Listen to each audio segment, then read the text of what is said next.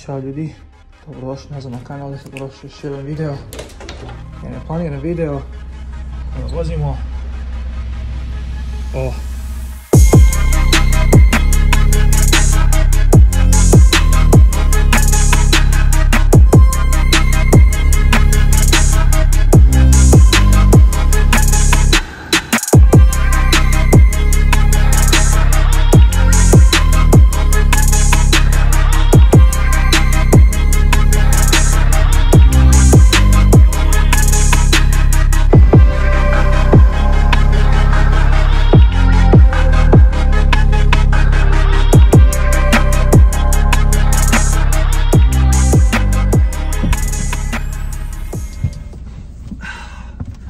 E sad, šta je ovo?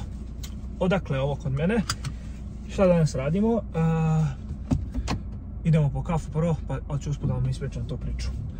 A, ovo je Hyundai Genesis, ili Genesis, kako god htjeli, G70 verzija, što je Genesisov 7 srednje klase, nešto što je nekom mom razmišljanju u kategoriji BMW-a trojke, Mercedesove C klase i tako tih ovaj, srednjih modela. Genesis je luksurna linija Hyundai automobila i ovo je jednostavno auto o kome smo jedan i ja pričali često u našim podcastima kao nešto što je nešto što dosta bolje u odnosu na, na, na regularne Hyundai i nešto što je dosta iznad svoje klase ako pogledamo odnos cijene i kvaliteta. I otkud auto kod mene? U petak, to jest u petak sam išao u Palm Springs na, poslovno putovanje. Imao sam tamo jedan event poslovni koji sam morao da odradim. Međutim, u četvrtak kada sam se vraćao sa posla, po jednom povožnjaku sklapale su dvije trake u jednu. Ja sam išao ovaj, do auta jednog, pokušao sam da izađem ispred njega, dodao gas i auto kronim proklizava skroz u desnu stranu. Počela se pali kontrola proklizavanja, uopće mi nije bilo jasno šta se dešava i bukvalno ovaj, umalo se nisam slupao. Tako da sam u petak ujutro otišao i odvezao moj auto kod mehaničara da vidim šta se s tim dešava. Pričao sam u prošlom videu da auto malo proklizava, ali ono, ono prošle nedelje baš bilo ovaj, baš je bilo strašno, ako iskreno budem uplašio sam se. No, to je Carrera, ovo je Genesis. otkud Genesis, morao sam na put, tako da sam otišao orijentirao auto, jedini auto koji imali su ovaj Genesis G70. I eto, kad je već tu, ako iskoristim priliku da snimim neki svoj utisak o ovom autu i da podelim neko moje mišljenje, iz prostog razloga što nisam siguran da li se uopšte na Balkanu ovaj auto prodaje, e, da li ih uopšte ima i da li uopšte ko zna za ovaj auto. A drugi razlog je to što onako sa strane gledano, gledajući slike, gledajući neke reviewove, od uvijek sam mislio da je ovo stvarno vrhunski auto. I eto, e, sad mi se ukazala prilika da ga provozam, pa iz tih razloga, e, pošto sam baš bio oduševljen, želio sam da podelim moje mišljenje. G70 dolazi u dve dva, ima dva motora, dva pogonska paketa, 2.0 turbo i 3.3 turbo. 2.0 turbo je ovaj auto sa oko 240 konja, 3.3 turbo ja mislim ima oko 350 konja. ta verzija je jača, ali ovaj, ni ova nije, ni ova nije skroz slaba. pored toga ili dolaze sa zadnjom vučom ili sa vučom na sva četiri točka. Znači nemaju opciju sa prednjom vučom. Ovo je na sva četiri točka i auto se jako lepo vozi. Jako je bilo udobno voziti se do Palm Springsa i nazad. E, sam nekih, šta znam, 400 km u, toku petka i subote i stvarno ovaj, nisam osjetio uopće nikakav, nikakav teret, nikakvu tegobu, mnogo je lagano bilo voziti auto. E, od stvari koje mi se sviđaju, završna obrada je fenomenalna, bolje od bilo kog američkog auta koža koja se koristi, to jest replika koža, ali svi ovi materijali su jako kvalitetni. Škrip test, ništa nigde ne škripi, nigde ništa ne pravi neku buku posebnu. Snimit ću vam posle, mnogo mi se sviđa što je tabla cijela proštepana, sviđaju mi se ove kontrole ovdje za klimu, sviđaju mi se kontrole infotainment sistema, jednostavno sve je to jako, jako lepo ovaj, integrisano u, dizajn. E sad, Hyundai je koreanska kompanija, zar ne? Tako da, kada pogledate njihov interijer, njihov dizajn unutrašnji, vidjet ćete dosta stvari koje su slične sa nekim drugim proizvođačem, ponajviše europskim. Ali, opet, to je sve tako lepo integrisano da uopšte ne deluje kao da je ukradeno sa drugog auta. Ovaj infotainment sistem je bukvalno sličan, to jest display, sličan BMW-ovom, ali i dosta drugih proizvođača imaju jako sličan sad display. Tabla je poludigitalna i ona malo podsjeća na ovaj, ili Fordovu ili Audijevu, nekako neki hibrid između sa velikim displejem u sredini i jednim Zeigerom koji je ovaj, poludigitalan, ali opet to je stvarno lepo odrađeno i stvarno mi ne smeta što mi je slično sa nekim drugim proizvođačem. Um, sad ja vozim auto koje je star skoro 20 godina, pored toga moja žena sad vozi mog starog Golfa koji također ima par godina. Ovo je ipak nov auto, 2022. godište i ono, po meni, u odnosu na automobile koje ja imam i koje ja vozim svakodnevno, stvarno je, stvarno je, stvarno je sve vrhunsko, vrhunski urađeno i ovo je stvarno auto udoban. Muzika zaista zvuči fenomenalno. I to je neki neobičniji sistem, nije čak i neki upgradeovan. Ono što me još iznenadilo da auto ima, to je kao smart cruise control. Nije baš autopilot, ali je na tu foru.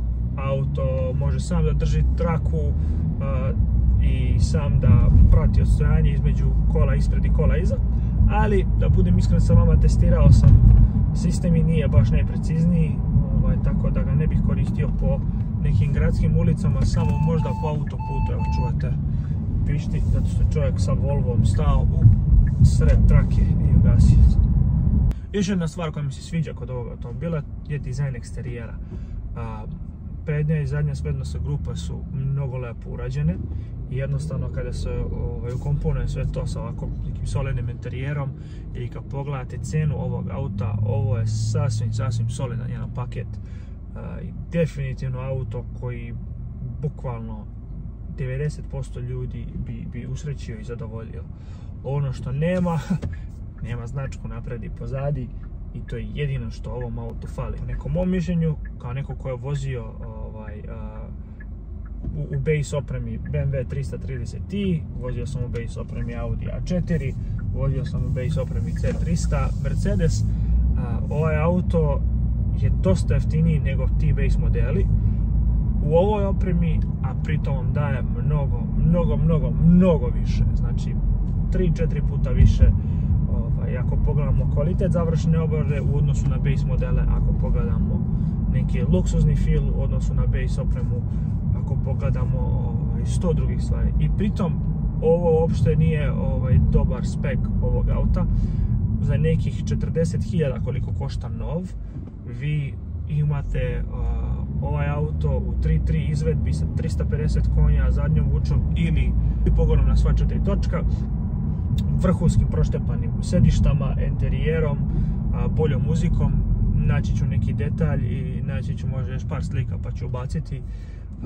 Tako da ako pogledate taj spek u odnosu na onaj spek one četvorke što sam ja vozio prošle godine to jest mog starog auta to jest ženinog starog auta Hyundai je bolje jedno 10 puta ali 10 puta. Nahvalio sam dosta auto, ali da li ima nekih mana? Postoje par stvari koje bih to volio da pomenem, čisto opet subjektivno. Broj 1, taj 2.0T motor, to ovaj 2.0T motor, nije savršen, u meni malo je tanak, ali opet red veličina, skoro 250 konja u Americi je mnogo drugačije nego 250 konja na, na Balkanu ovdje ovo malo tanak motor, kašljucav što bi se reklo i e, mislim da bi ne znam, bili bezbedni i, i bi se osjećali bezbedni ili bar ja na autoputu. Traju malo više snage za neko ovaj, e, naglo manerisanje. Ako želim da preteknem kamion, ako želim da izbjegam neku situaciju, volim da osjetim snagu kada potopim papučicu. Ovaj auto mi baš ne odaje taj osjećaj, ali ovaj, to je ok, nije svakome potrebno ovoliko konja ne vozi svako na način kako ja vozim, tako da to je jako subjektivno osjećaj. Druga stvar, ova sedišta, ovo su basic sedišta, ali su meni mala. Nekako su pri dnu uska i kratka. Voleo bih da ima onaj deo koji se izvlači za noge, da na naslon za podkolenice i voleo bih da ima pored toga malo šire, malo šire ovaj, ovaj sedišnji deo.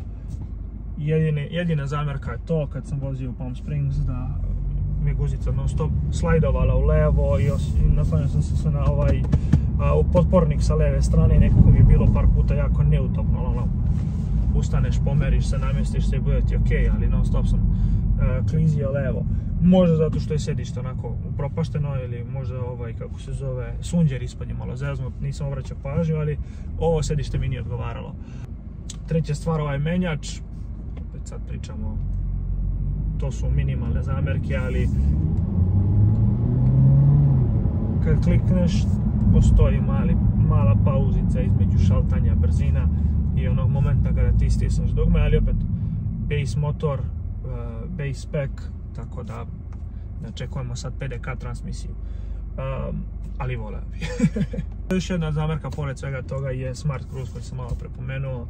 Um, kao što rekao, na autoputu je ok, ali uh, po gradu ili tako negdje malo, mm, malo je upitan, tako da ga ne bi baš koristio, koristio bi običan cruise control, ne treba mi da me auto vozi, uh, jednostavno nije to na tom nivou na koji su ljudi navikli što se tiče autopilota u Tesli ili, ili Mercedesu i BMW-u. Ali sve u svemu, zaključak je jako, jako, jako solidan auto. Ja ću sad se potrudim da nađem neki parking, da vam malo snimim interijer i eksterijer i neki b-roll o autu. Znam da auto nije ništa posebno, znam da video neće biti ništa posebno, ali opet htio sam da podelim sa vama neko zanimljivo iskustvo. Ako vam se video svidio, ostavite like. Ako baš svidio, šerujte ga sa nekim. I ako vam se sviđa kontent na kanalu, subscribeujte i pomozite mi da poguramo kanal. To bi meni mnogo značilo. Ja vas sve pozdravljam i mi se vidimo u nekom sljedećem vlogu. Ćao!